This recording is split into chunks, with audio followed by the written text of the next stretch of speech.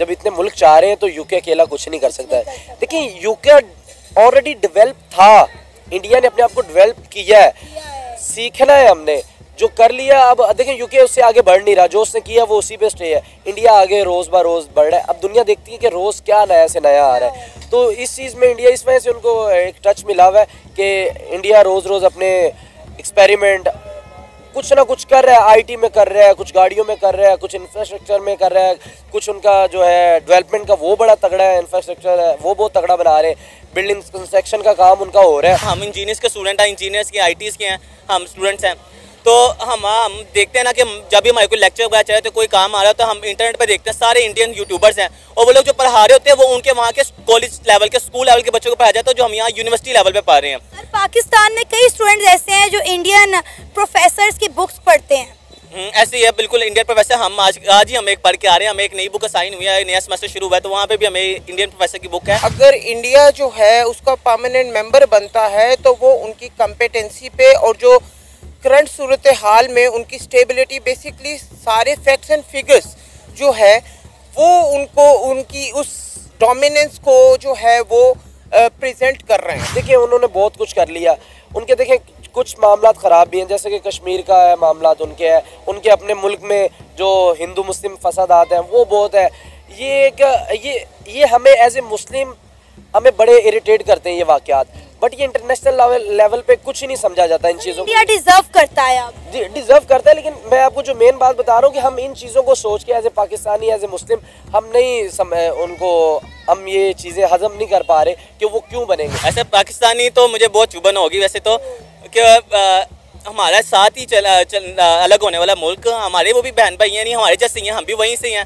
एक किस्म के सब लोग एक जैसे ही हैं वहाँ पे भी। तो वो लोग इतना आगे जा रहे हैं इतना वो कर रहे हैं उनमें है तो सही ना उनमें कोई ऐसी आइडियोलॉजी है? वो किस आइडियोलॉजी पे चाह रहे हैं? हमें पहले वो देखना है हमने कि वो किस आइडियोलॉजी पे चाह रहे हैं। उस आइडियोलॉजी के मुताबिक हमने भी अपने आप को देखना ये चीज़ नहीं होती कि कोई अगर ऊपर जा रहा है उसको के नीचे लाना है हमने खुद उसको देखना है। किस चीज़ से ऊपर जा रहा है। तो हमने उसके साथ ही ऊपर जाना है उनका बॉलीवुड है यूनाइटेड नेशन सिक्योरिटी काउंसिल के प्रेसिडेंट का कहना है कि ब्रिटेन को यूनाइटेड नेशन सिक्योरिटी काउंसिल की अपनी परमानेंट सीट छोड़ देनी चाहिए कि दी ग्रेट ब्रिटेन अब दी ग्रेट नहीं रहा।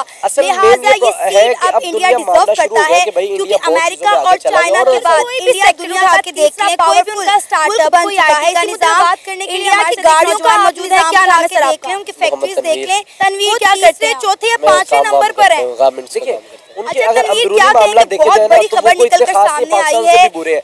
बट उनके जो यूनाइटेड नेशन इंटरनेशनल सिक्योरिटी ताल्लुकात हैं और जो वो काम प्रेसिडेंट का करते हैं कहना नेशनल लेवल पे और फिर यूके को इंटरनेशनल लेवल पे परमानेंट वो बहुत छोड़ देनी है, वो चाहिए तगड़े यूनाइटेड नेशन जो वो अपना एक सिक्योरिटी ले लेते हैं, और चाहे ये उनकी जो फौज ओहदा चाहे अवाम ये अब वो फिर एक पेज पे आ जाते। अंदर चाहे ऑलरेडी हम देखें तो इंडिया दुनिया की पांचवी बड़ी इकॉनमी बन गया है इंडिया का स्टेटस से कहाँ पहुँच गया अगर इंडिया यूनाइटेड नेशन कि सिक्योरिटी काउंसिल का परमानेंट मेंबर बन जाता है तो इससे पाकिस्तान को कितना फ़ायदा और नुकसान होने के का चांसेस हैं क्या है ये क्या चीज़ क्या है? फ़ायदा होगा मतलब या नुकसान होगा, ये तो समझती नहीं कि वीटो है क्या देखिए वीटो एक की मुद्दा ये है कि उनको बनाया क्यों जा रहा है, उसकी क्या है? ये मेन नेशन ये है कि उन्होंने अपना एक इदारा बनाया जब ये किसी भी दुनिया में बहुत ज़्यादा कोई भी है। चीज़ इंप्लीमेंट कर लेते हैं। इंडिया यूनाइटेड अपने का आप मतलब को अब बनाने की कोशिश कर रहा था, है? एक बनाया पेज पे बहुत ज़्यादा जब भी इन्होंने किसी मुल्क के साथ कुछ भी यूरोप कंट्री नहीं कर सका। सारे जैसे कि means साइड हो जाएँगे कि उनकी गाड़ियाँ इतनी ज़्यादा बनना शुरू हो गई ट्रांसपोर्ट जो भी है वो सब कर देंगे बड़ा तगड़ा हो गया अगर तो देखा जाए कि साथ panel बहुत बड़ा लगा लिया जो चाँद से भी नज़र आता है। देखा जाए तो ये बहुत बुरी चीज़ है। यानी कि एक बंदे की लड़ाई की वजह से सारे साइड पे हो जाएँगे। बॉलीवुड उस मुल्क को मखलूज कर दिया जाएगा। काली तौर पे तजारती तौर पे बड़ा कमज़ोर हो जाएगा। बजट का पैसा वहीं से आता है। फ़ायदे भी बहुत है लोग नुकसान भी देखना चाहते हैं। मेन जो आपका सवाल ये था कि हाँ इंडिया को अब आ जाना चाहिए। तो देखिए उन्होंने बहुत कुछ कर लिया। है कि अब देखिए मानना शुरू हो गया कि खराब भी जैसे कि कश्मीर का है कोई भी सेक्टर उठा के देख ले कोई भी उनका स्टार्टअप कोई आईटी का निज़ाम इंडिया की गाड़ियों का आप निज़ाम उठा के देख ले उनकी फैक्ट्रीज देख ले हमें बड़े इरिटेट करते हैं ये चौथे या। पाँचवें नंबर पर है इंटरनेशनल लेवल लेवल पे कुछ अगर अंदरूनी मामला चीज़ों को। देखे जाए तो वो करता कोई है इतने खास नहीं से करता भी है, हैं मैं आपको जो मेन बात बता रहा हूँ कि हम इन ताल्लुकात को हैं और जो वो काम करते हैं national लेवल पे हम नहीं international लेवल पे वो ये वो चीज़ें हजम नहीं कर पा जो रहे वो अपना एक डिसीज़न ले लेते हैं लेकिन चाहे उनकी फौज हो चाहे अवाम कुछ भी नहीं कहते पे आ जाते हैं का अंदर चाहे जितनी मर्ज़ी उनकी है। लड़ाई हो मेन यूके को हटाने का मकसद मकसद था था कि कि यूके ने पिछले दस सालों में जो कुछ एक इस तरह का काम नहीं किया कि जो उनको 2000 से पहले ये वो बड़ा महल है ये रहने की वजह से चाहिए। दाइश देखिए की वजह होता क्या? मेन हमें ये समझना चाहिए कि तरह के ज़्यादा क्या है। ये क्या चीज़ क्या है? ज़्यादा मतलब खराब हो। गया। हम हमारी वीटो को समझते नहीं कि जंग है क्या रही है। देखिए तो यहूदियों ने यहूदियों को कि वो पावर में देखना ये जो चाहिए, यूनाइटेड नेशन है ये यूनाइटेड अगर एक उन्होंने अपना एक इदारा बनाया की बात करें तो किसी भी दुनिया में कोई भी चीज़ इंडिया कर पहले ही आप status यूनाइटेड का देखें, मतलब अगर इंडिया यूनाइटेड नेशन क्या होता है एक सिक्योरिटी पेज पे काउंसिल का जब भी इन्होंने परमानेंट किसी मेंबर मुल्क के बन साथ जाता कुछ है? भी करना इंडिया है के ये पास वीटो पावर आ जाती है तो इंडिया का स्टेटस क्या देख रहे हैं उनके साथ ज़ाहिर बात है, भी है पावर एक बड़ा तगड़ा देंगे। यानी अगर तो देखा जाए एक हिसाब से उनके पास चीज़ भी है। 50% अगर पावर फिर देखा जाए तो ये बहुत बुरी चीज़ है। यानी कि एक बंदे की लड़ाई की वजह से पास सारे होना, साइड पे हो जाएँगे उस तो हमने को मखलूज कर दिया जाएगा हाथी माली तौर पे तजारती तौर पे तो वो फिर कमज़ोर हो तो जाएगा। इंडिया पावर रख के इनके फ़ायदे भी अच्छा बहुत है नुकसान भी बहुत है बट मेन जो आपका हैं, सवाल ये तो था कोई हाँ इंडिया को अब आ जाना चाहिए। पावर की आड़ में उन्होंने बहुत कुछ कर लिया। उनके देखिए मामलात खोले फिरे। खराब भी हैं, काबिल कबूल नहीं होगा और ये हम नहीं हैं।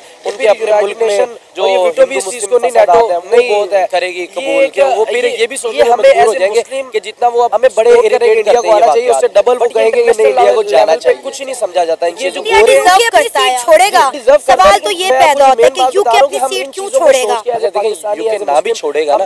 अगर यूनाइटेड नेशन अगर छुड़ाना चाहेगी तो हजम छुड़ा सकते हैं कि वो ये नहीं है वो वोट लेके आया अगर ज़ाहिर बात है इंडिया को वोट डल गए मुस्लिम का इमेज खराब फिर यूके तो सिंगापुर समेत 160 सेवन कंट्रीज़ ये चाह रही है जो की इंडिया आए सौदे पे। दो हज़ार ऐसी पहले आपके सवाल में ही जवाब है की वजह से बारिश चाह रहे हैं तो यूके अकेला कुछ नहीं कर सकता। देखिए यूके ज़्यादा है। ऑलरेडी ज़्यादा हाँ, खराब हो गया।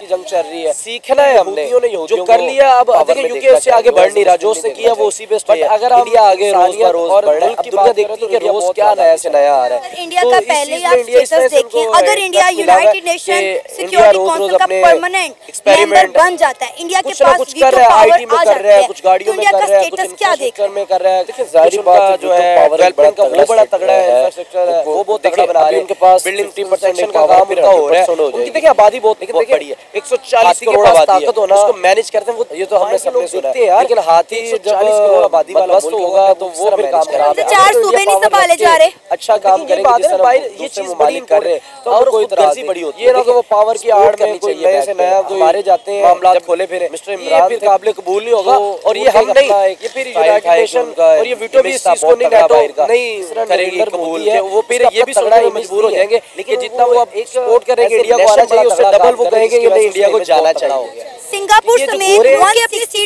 कंट्रीज़ ये सवाल तो ये पैदा होता है कि इंडिया के पास अब वीटो पावर आ जानी चाहिए इंडिया ये डिजर्व करता है।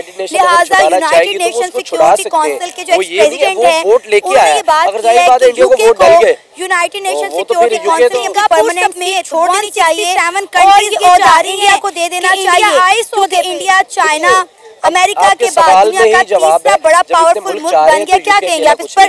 क्या इंडिया ये सीट डिजर्व करता है? ऑलरेडी डिजर्व था।